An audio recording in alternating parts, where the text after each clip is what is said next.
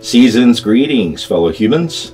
Bad Mark here with another transmission from MechTech Keyboards.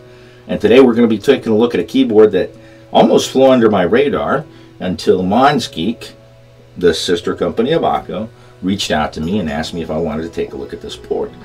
Now this is a $99 CNC aluminum kit with QMK5. If this keyboard delivers on its promises, the game has just changed. So let's go ahead and get into it. Now, just for those wondering, I am using a different microphone, so if you have any issues with my voice or anything, let me know. I've switched to a lapel mic because I tend to move around a lot and then I'm not able to position the camera where I want it to because um, I have a mount that both holds my camera and the mic that I use for sound test that I was using for also my, my audio, my speaking.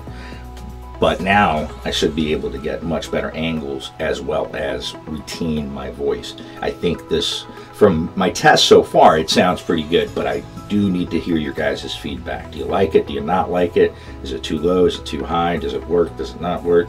Let me know. I want to make sure I'm doing videos that, that deliver. All right, so let's open this nice big package up and see what we got Just by taking this out. Let me just to see. All right. Set of grams. 2,155 grams right off the bat. So over two kilos. $99. So material wise, I think we've already reached it. We haven't even opened the box yet. But I don't want to get too excited. I have heard a couple of sound tests that kind of, I don't know, maybe it was the microphone, maybe it was the conditions, but I don't know. I don't want to make any prejudgments. I want to go ahead and figure it out for myself because we'll see what it's like stock and then most likely we will come back. Although I think, do think we do have to open it. Um, and just so you know, this one is the US version. There are minor differences between the US and the international version, which I will be going over shortly. All right, so got a nice, well-packed keyboard. And just so you guys know, um, the mod series from Akko, remember how they said this is from a studio? Apparently this MonsGeek, Monster Geek, is that studio that made the mod series. So if you like the mod series, there's a good chance that you're going to be happy with this. But not having to use the Akko Cloud driver is nice. Now this um, tape PCB, I think this is only for the US version. I have to look at the email they sent me that, that gave me uh, the specs. Now we do have a nice coiled cable. This is the same cable that comes with the mod series keyboards. I mean exactly the same. It's funny because I use these as my data. I like a coiled non-connector type USB-C cable because it reminds me more of retro nostalgia. But so it does have a nice, this is a rubberized, but it has a nice coil and it's probably a, let's say a five footer. All right, and then we've got the screw-in stabilizers, which are not installed. So there's a little bit of work that we have to do, but but I'm going to assume that this is probably saving them enough money to get us the keyboard at this price. So for that, I'm not going to complain. I'm going to set these aside for right now. Go ahead. Okay, we've got a manual. Oh, and we've got, these are the pads for the screw-in stabilizers. And packaging is extremely similar to the mod series. We've got the owner manual. See, it's QMK.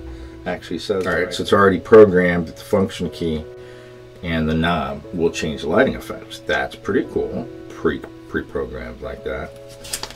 But it tells you some of the. Um, oh, okay. You know the functions that it has right there. Light saturation, lights on and off, and then more could be programmed using VIA. So we have got an open source VIA QMK keyboard that comes already with the tape mod. Comes with a coiled cable, my preference type of cable. I know not everybody. Some people just gotta have that Limo 75% CNC keyboard. She is sexy. And this is, I mean, it feels solid. It feels super, super solid. So let's just take a look at the the board real quick. Now we've got, looks like pre-installed, um, feels like PE foam. I don't think it's Poron. So pre-installed PE foam. And it looks like it would accept um, plate mounted stabilizers, but since we have screw-in stabilizers, we're going to go ahead and get those in there. And we may as well do the tape while we're in there. We see we have a polycarbonate plate and out of the box actually. I mean, it's not a crazy amount of flex, but it's more flex than say the GMMK Pro was out of the box, that's for sure. And then the knob, I like it. It's a, it's a decent size. It feels hefty. It doesn't feel like it's going to blow away with the wind uh, because that black part of it does feel like it's metal. It's a light metal. I'd say it's aluminum probably. Let me see. Yeah, it's probably an aluminum knob since it's not magnetic, but it is nice. And it looks nice. It's not tiny. That's one one of the only complaints I have with the mod series was the knob was so tiny compared to the to the rest of the key. It was like they were trying to make it smaller than the keys themselves, which was just a little odd in my opinion. 1706 7 grams. 1700 grams, almost 2 kilos just for the keyboard, and we haven't even put switches and caps on it. So I'm a big fan. I mean, if you've been watching my videos, you will probably recall me using the word um, substantial describe things. I like things that feel substantial. The weight of something, the density of something, uh, to me, for a lot of things, it doesn't work for everything, but it kind of differentiates from a toy or more of a, you know, learning tool to a real working tool. Um, like I said, it doesn't apply in all cases. I do have some light keyboards that sound great. Uh, so let's see what we got at the bottom. Looks like we have got some Allen screws, but this did come with some extra screws as well as the Allen tool. Always got to appreciate that. And uh,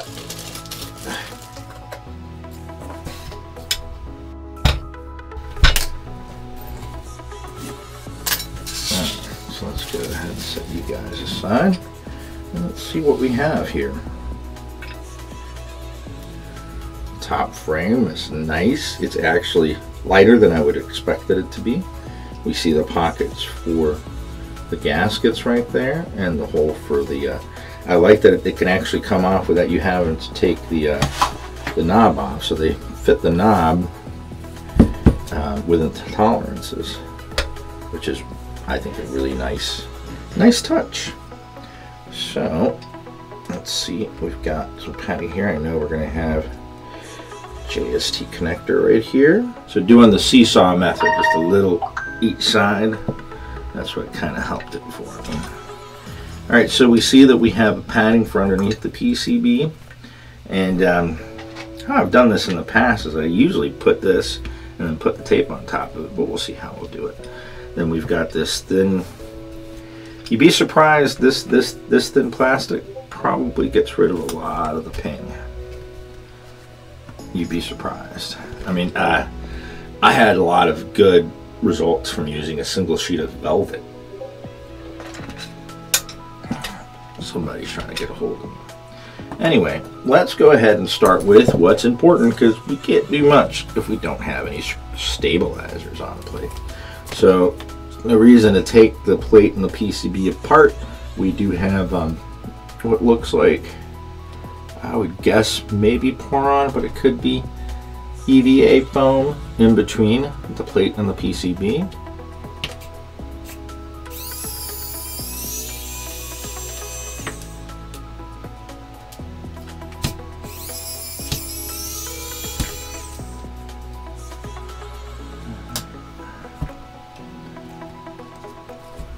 And here we have our PCB. M1 QMK US revision 1.0. So like I said, there's an international and there's a US version. So that's the one that we're taking a look at today is a US version. So it's a decent PCB. It reminds me a lot of the CSTC um, 75. All right, so let's set this here for the second. Then we've got our, believe this is IXPE foam. That's what they're calling it. And then we have, uh, it feels like a Poron uh, for between the plate and the PCB. Now, I've already seen some mods where they replace this with just regular Poron strips, and apparently you get more flex out of it, but we're staying stock with this one. So we will be, I will come back to it and do modding videos to, you know, make her sing. But for right now, I just want to focus on what does this keyboard sound like with the components that it comes with. Go ahead and do the screw in stabilizers first.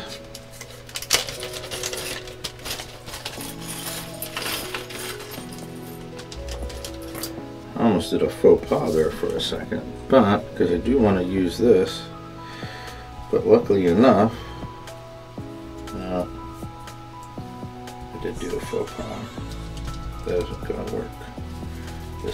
Go below.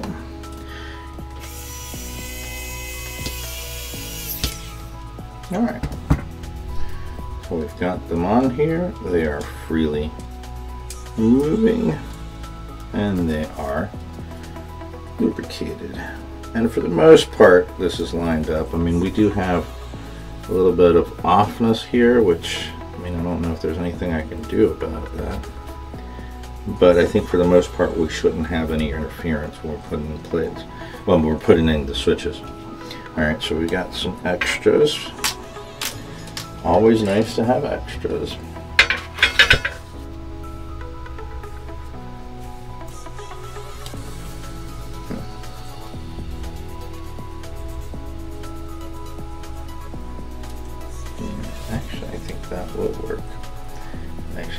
Bit of a guide as to where I want to. Before I do this, let me not screw up yet again.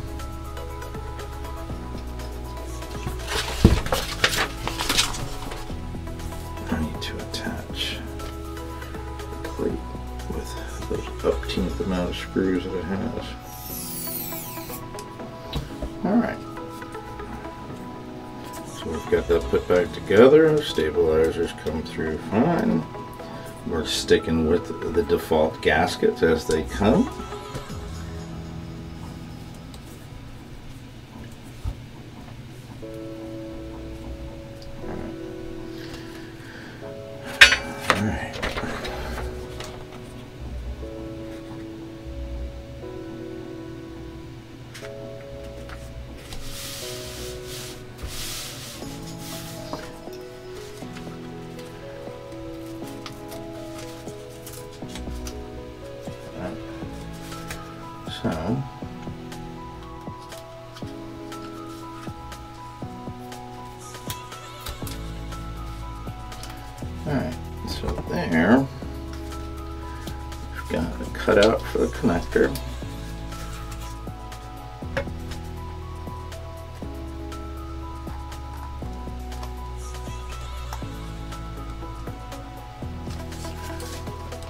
Alright.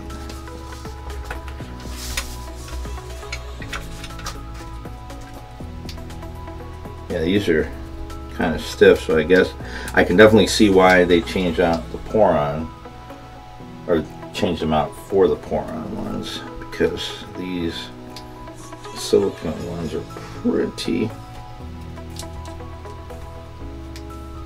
they're pretty um, stiff. So, just to make sure everything is good here. Go ahead and plug this in. Ooh, nice and bright, and it came on real quick. Looks like we got a cap lock indicator. It's always nice. I'm setting it via. But, alright, so yeah, it's looking real good. All right, let's go ahead and close her up. I just wanted to check out what the lights looked like before we closed her up.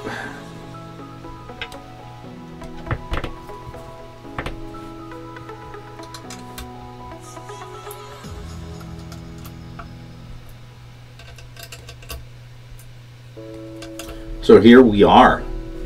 This is the monster.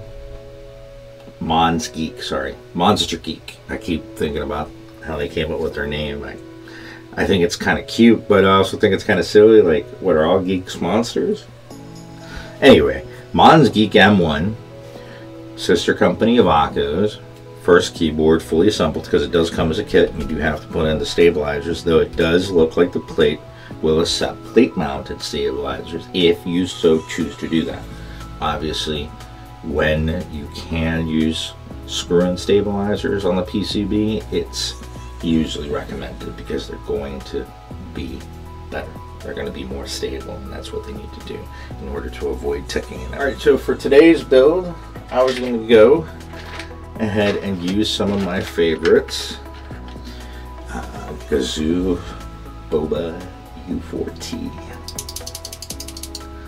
To me, these are the pinnacle of tactile. I love these. And since we've got a pretty nice RGB, I figured why not go with the RGB top.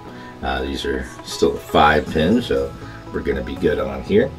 Let's go ahead and load these up and then we'll go and see what we'll do for keycaps.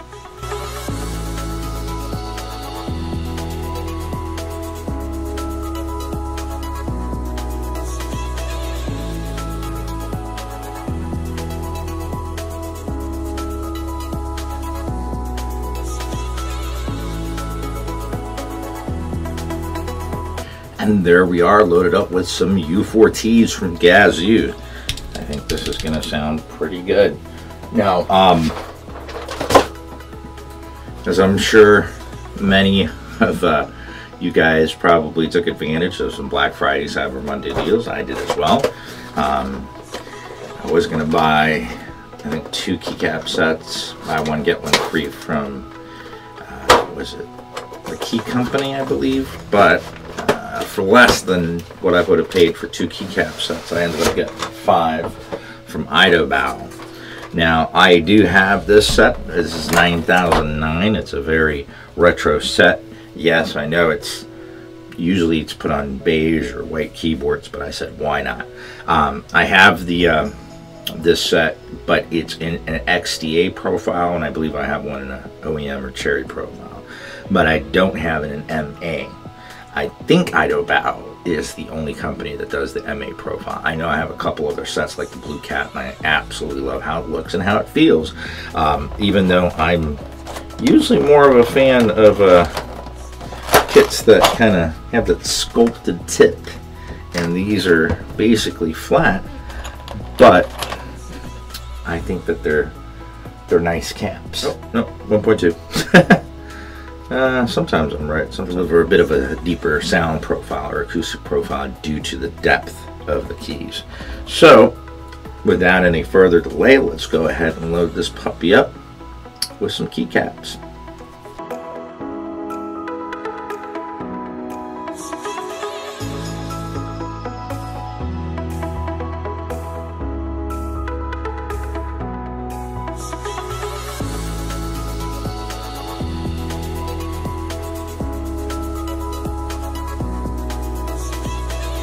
So here we are, the Mons Geek M1, 75% with a knob gasket mounted via QMK keyboard. How much? $99. Now does it sound perfect? No. Does it sound bad? Nope. Does it require some mods to get to that S tier level? Yeah. Do I think that it'll get there? Yeah, I'm pretty sure. I honestly, I can't think of a better keyboard, even a $200 keyboard. Now, let's go ahead and plug her in and look at that RGB. We can see the RGB pretty clear even through, I mean, obviously I've got the RGB uh, U4s in here. Um, but the RGB actually can be seen pretty well straight off the bat. Now, like I said, there is a tad amount of ping in there, but it's not anything that I don't think cannot be fixed with a force break mod. But as I promised, this first video and sound test is going to be completely stock. Then I'm going to come back to it. So any changes that I make, because I've already got like three different ideas um, for modifying this keyboard to helping it achieve S tier status. But I'll always have this stock sound test to be able to compare against. But my initial impressions that this is a solidly built kit. Um, it is better than any of the mod series. I have the mod 007 and 006 and had the 003 for a short while. Um, but this, I mean, this one weighs more than the 003 and that was an 1800. So it's south facing, it's QMK via out of the box. Um, it has a polycarbonate plate. It has, uh, it's just well built. It's a well built PC that sounds decent. I mean, a lot of people, I think, the way that it sounds right now, they're going to be more than happy with because the ping is very slight, although it is there. So I'm going to go ahead. Uh, my impressions are that this is a great keyboard. I'm excited about getting into it and modding it and reaching that, you know, finessing that the greatest acoustic profile that I can out of this. Um, it may be with the U4Ts, it may be with another switch, I don't know, but it's definitely going to include some dampening materials inside of hollowness in the, in the case because I think that's where the majority of the profile is going to be decided. But for $99, I mean, I mean, I'm sorry, Keychron, but I mean, you can get a V1. I mean, I know this is a bare bone, but a V1 bare bone, what is $79? 80 bucks. So 20 bucks more and you get this bare bone. I'd get this. I mean, I prefer the sound to plastic, but I love the feel of a metal keyboard. Let's get technical. Today we're taking a look at the Monsgeek M1, the first outing from Monsgeek, a company that calls itself a sister to Akko. This is a fully 75% aluminum gasket mounted kit with a knob at MSRP's for $99. There are two editions, a US edition and a global edition. Today we are looking at the US edition. It comes with QMK and VIA, a polycarbonate plate, foam between the plate and PCB, as well as under the PCB foam. It also has a layer of thin plastic above the bottom. It, this is a wired keyboard. The chin sits at 22 millimeters. The back of the keyboard sits at 35 millimeters with a typing angle of 7 degrees. I'm going to leave you guys with a stock sound test. And again, this is the Monsgeek M1. So the international one, I guess, does not have those features. Doesn't have QMK wire, doesn't have the tape, doesn't have the Teflon pads for the stabilizers, and does not have stabilizers included. So that's the difference between the US and the international. So this is the US version. So it does come in with those uh, extras. Um, I never thought about using those silicone pads for the force break mod. I usually use the um, the thicker uh, gauze tape.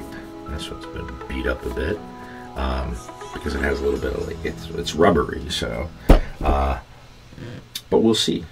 We'll see. Right now, we're gonna do a stock sound test. I'm gonna go ahead and leave you guys with the stock sound test. Please recall I am using a new microphone on this setup. So if there's any issues with the audio or if you like it or if you've got any comments at all whatsoever about it, please let me know. Um, I'm trying to, I'll be setting up a new studio here after the holidays, but I'm trying to be budget conscious, but still kind of improve my setup one little piece at a time because this stuff to make good videos is kind of pricey. So but I want to continue to deliver content that's interesting and I will always remain honest, even though I may never get slick and fancy and crazy slides and wipes and edits and everything like that. I'd rather spend my time actually doing some work and helping to deliver the best portrayal of a product when it comes to keyboards so that you guys can eh, I want it to be as close to as you guys have it in your hands as possible you know okay you know so if you've got questions for me shoot them for I mean most of you guys will know. If you ask me a question, I may not get to it the same day, but if I have the parts, I will usually get to it. I mean, I've had some odd questions like, hey man, what's the inside diameter of this keyboard? Uh, okay, hold on, let me check that out. Or how much is the, the height between this and that? Or if you do this and this switch, what does it sound like compared to each other? I don't mind, honestly. It just may take some time before I get to it. But if you've got a question, shoot it to me. Um, if you want to tag me, you have a question, or it's already in a comment stream and you want to tag my name, I will get to it. If you want to put a comment below on one of my YouTube videos, I will do my best to answer it. The more information you give me, though, the better I can help with. So, for right now, I want to wish everybody season's greetings. I hope everyone is having a good time preparing for the holidays. Um, I hope you're staying safe. The weather is kind of crazy in a few parts of our country right now, actually, all around the world. Um, I see what's going on over on Europe, and you guys are having a polar vortex over there, minus 50 degrees centigrade. Please stay warm, folks. I want everyone to stay safe this holiday season. I send all my love to every single one of you guys for watching my videos. I truly do appreciate it. And I wish you guys the best for this holiday season and the incoming new year. Let's make this the best year on the history books. Huh? How about that? So I'll leave you guys with the stock sound test, the Monsgeek M1. And until next transmission, keep calm and keyboard on.